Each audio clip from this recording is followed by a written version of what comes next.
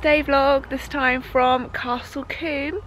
It's very foggy, I've just come to the side of the track to see if I could see two marshals posts, because that's how they work out, whether if you can see two marshals posts they'll let them out, if not you have to wait. And currently I can't, I can see one, there's one, stood right by it. Um, can't see anything else. It's uh, so yeah, don't think we're going to be out on time.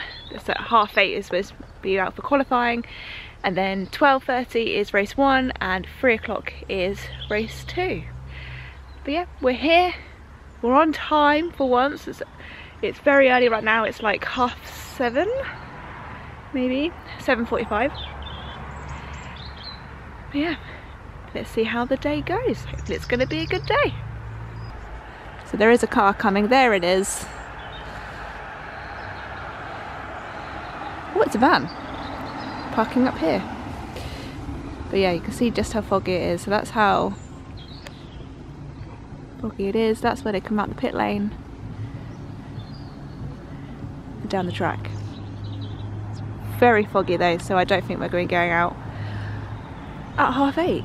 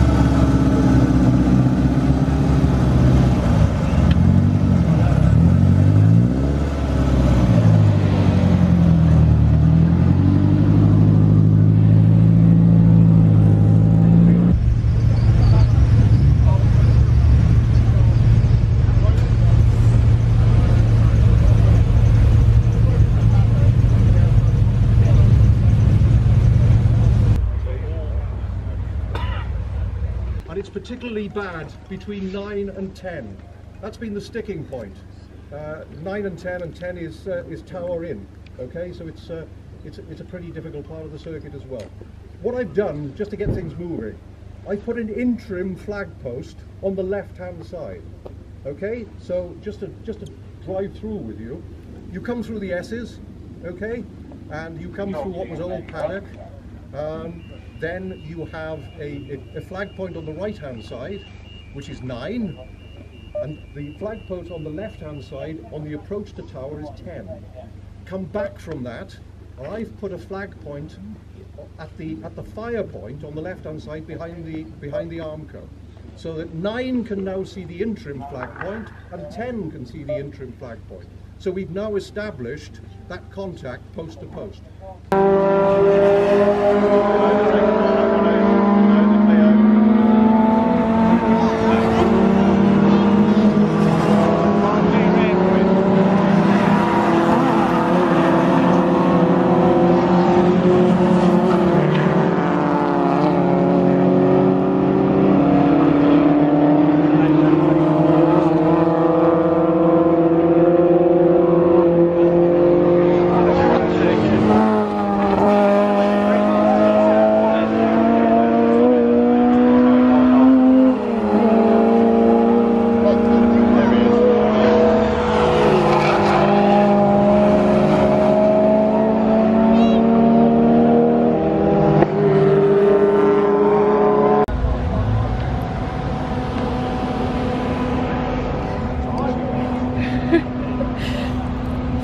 Was qualifying? Hot. remarkably considering it's only 10 minutes. it's a very bumpy track. I didn't realise how bumpy it is. I thought they sorted the bumps out. But my Tour 5 because that's got more expensive suspension, soaks up bumps nicely. Because this is a cheaper suspension, bounces around both ways.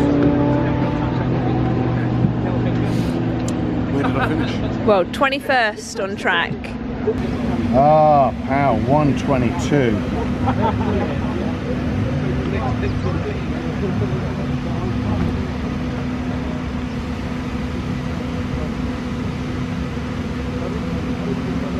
Flipping it.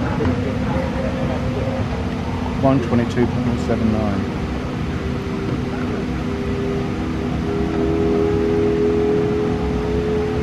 It was my last lap, yeah, my fastest, yeah. I just couldn't get a freaking space. What's Parky up to?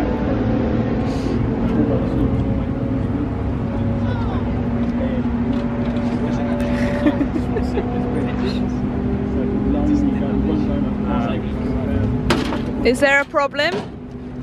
Uh. Are you sure? Time to suggest there is. More to come, hopefully. What? More to come, hopefully. Well, I should hope so. Oh, Whereabouts are you in the 206? Third. That's very good. Well, I'd like to be first. Oh no, hold on. Waitley. Waitley did me as well. Fourth.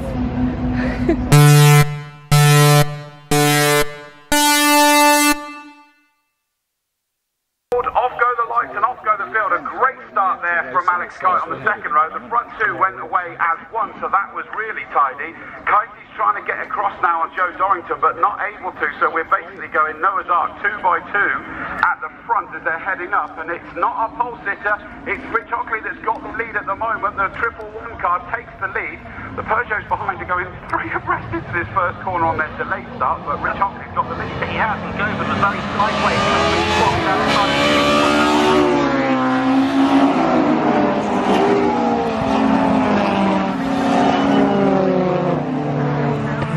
the first time in that Civic. In second place at the moment, it is a Peugeot, but it is not Govan. It is the number 33 car. And then in fourth, it is uh, one of the Clios that uh, Rich Hockley on this uh, fantastic lead because uh, Sean Govan had a big moment at uh, Quarry and it involved Joe Dorrington as well, so they're both a bit further back. Well, that's intriguing because in terms of qualifying lap times, is I think we were looking at uh, second and a half advantage to Sean Govan. So we're going to see him coming, fighting through, and he's already in a melee as he comes down towards us. He's a filling in a three-car sandwich. And he's up the inside already, so he's now got himself back up into fourth place. The car he dispatched with there was the number 75 Robert Buckland in the Renault Clio. The Renault 5 GT is also trying to make a move on Buckland up the inside at the first corner, and he's managing to do it. Up the inside he goes, cracking move. What a fantastic job there up Avon Rise. But Buckley, moment. Someone else has just had a moment up into Quarry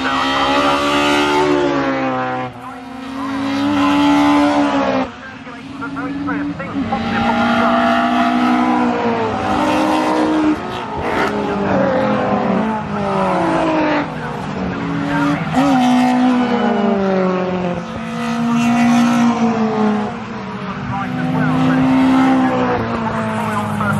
Had a bit of damage. Meanwhile, it's Rich Hockley still leading.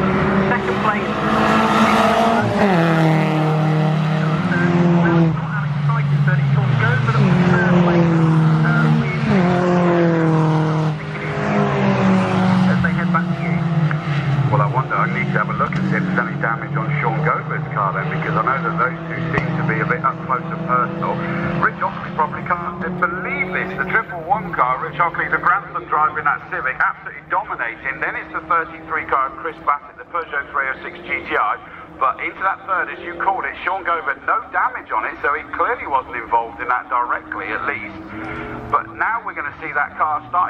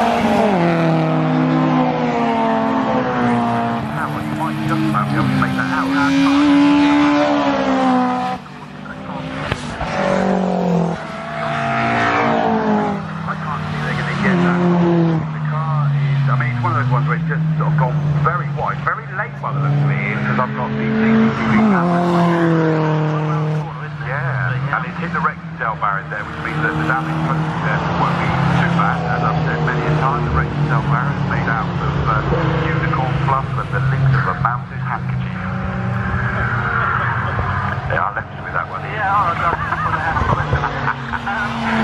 I was just looking through the just the VW back that changed before the safety car. It hasn't. It is still uh, Adams uh, ahead in the number six car, Chris Adams, I should say. Uh, Frost Bishop still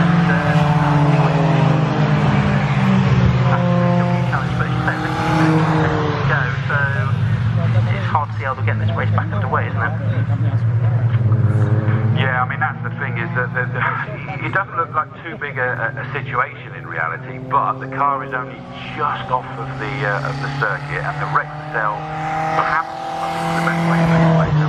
They're kind of concertinas all the way on the grass towards the track, so I can't see they're going to get it sorted. So it's probably going to end up being throwing in a, an early checker.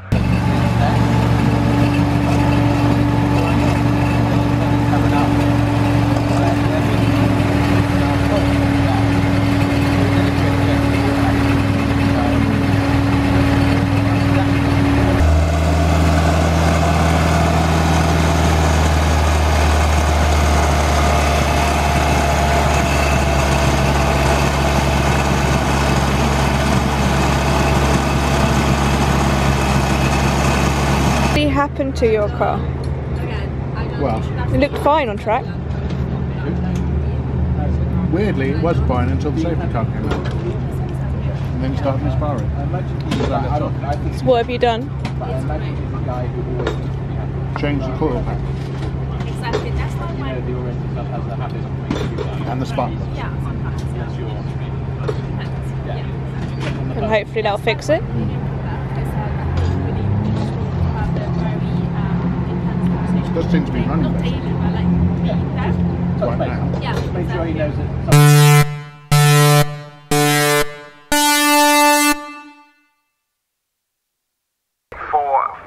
lights. Off it goes. Wow, that was quick. There was no hanging about there. The Renault 5 number 87 didn't get the best of, of there, and it's being sort of swallowed up by quite a few of the cars. Now, Sean Gover did his usual fabulous start, but he's been already passed by Rich Hockley and the 33 car, Chris Bassett. So that uh, second phase didn't quite go to plan. The 206s are also starting doing their usual thing at three wide, but up towards you is Rich Hockley in the lead.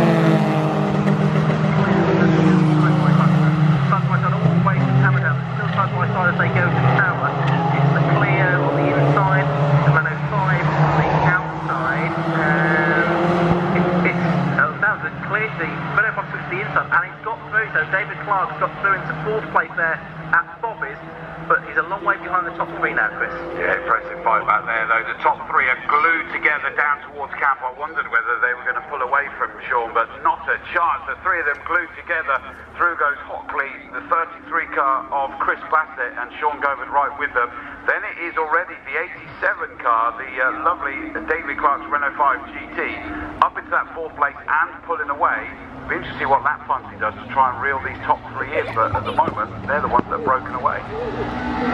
Yep.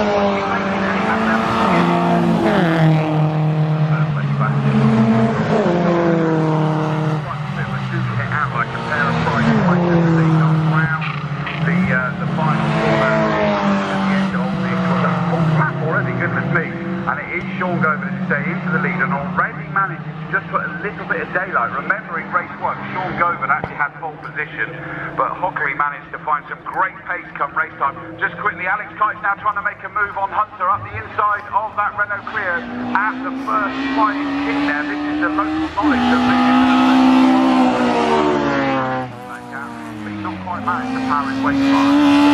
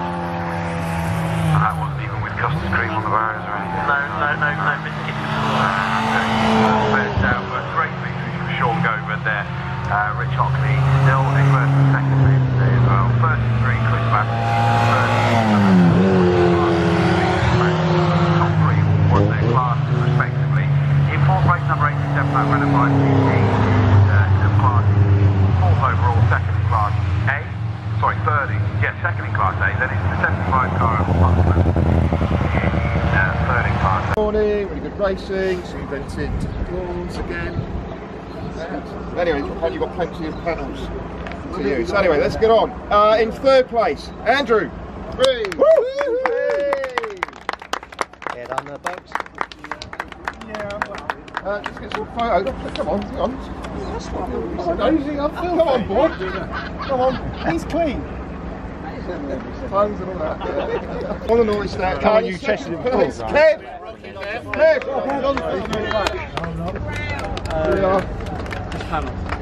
look at that round of applause. Oh, it's deafening the applause. Woo! And uh, in first place, um, oh, without Colson. Yay! I don't think it's worked. Massively, but only because of being pushed. Woo! Any other drivers? Yeah, bring them in.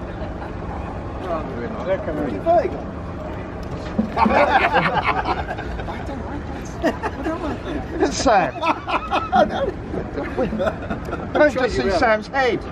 What do we do? Throw the trophies off the Yeah. air? It's not my best picture. No, no, no, really went All right, mate. Well, how were the two races? How was your car after race two? Is it misfiring again? Well, we haven't kind of had to qualifying on race one yet. Should we have done that? Well, yeah, let's go back then. Qualifying. Okay. How was qual? Oh, you did qualifying, sort of. Yeah, you were sat on the chair. Didn't qualify too bad as that for fourth in class. Uh, race one, fantastic. Really enjoyed race one. Brilliant start, fourth on the grid. I was in first position by the time we got to Quarry Corner and um, held first position for a lap and a half. And then Carl snuck past me. Um, and I thought he's just got more horsepower than me because he, he got past me going down the start finish straight. But then the next lap, I came along, drew alongside him. Didn't have to pass him, I drew alongside. And it was amazing slipstream. I mean, I've, I've never experienced that so much as in the 206. Um, proper, really made a difference. The slipstream gave you some good extra miles an hour. Uh, okay, uh, so I was just checking the road, into another bit. Uh, but yeah, we had a really good race. Uh, his son Will did get past me, but then so was three of us were battling closely for several laps, which is good, and that's what it should be like at the front in the Tour Sixes, single make series, uh, all battling together, and we were having a good battle. Then Carl actually, uh, he said it jumped out because they've got these horrible sausage curves in the chicanes. Yeah. And Carl said his car just jumped out of gear, so he quick popped in. But I, at that moment when when you're on the acceleration and the car in front stops accelerating, and Will was right up behind him. So he gave me a little headbutt, which slowed Will down, and I was probably a car's width length behind.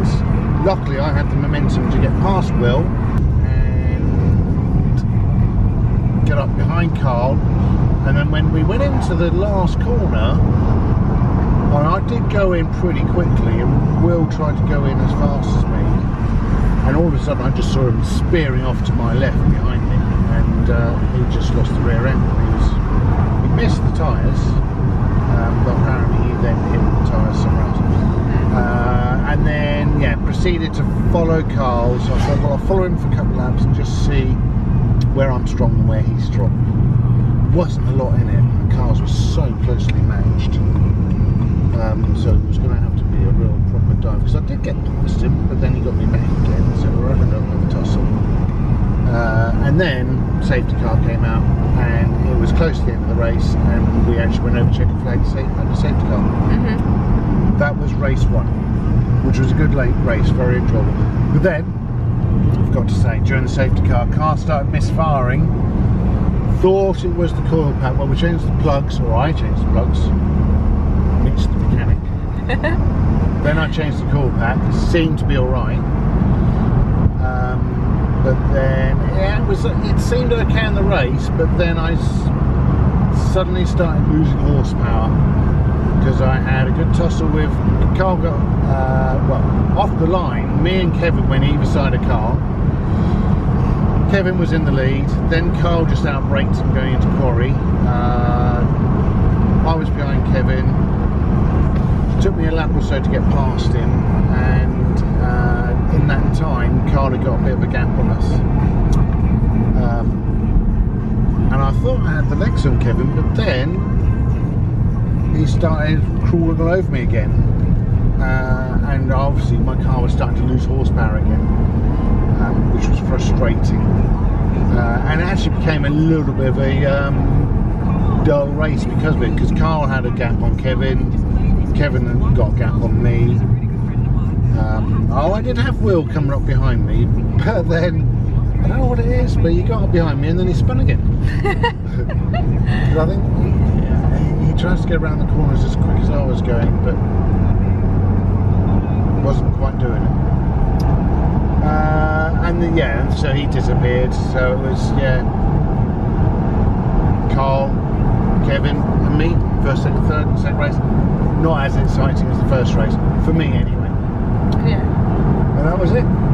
But hopefully it'll be out at Donington next.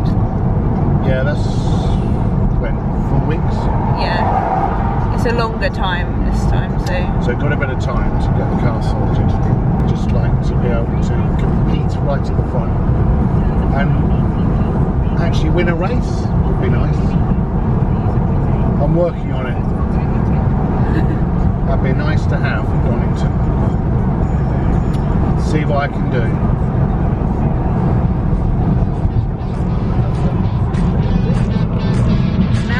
drive home punches.